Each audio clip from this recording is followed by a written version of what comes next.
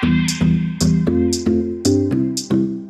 professor I want to thank is Professor Mark Bernfeld. Mark is one of the coolest professors I've taken classes with, and he's also been a huge mentor to me outside class. The professor that I want to highlight is Professor Malcolm Purinton. He actually allowed us to all talk freely and openly about whatever we were learning. And because of that, uh, Professor Purinton's class like allowed all of us to really think about history in a different light. I'd like to highlight Professor Margaret Burnham in the law school. Professor Burnham was the uh, first black woman in Massachusetts to be a judge, which is incredible. She's not an easy professor.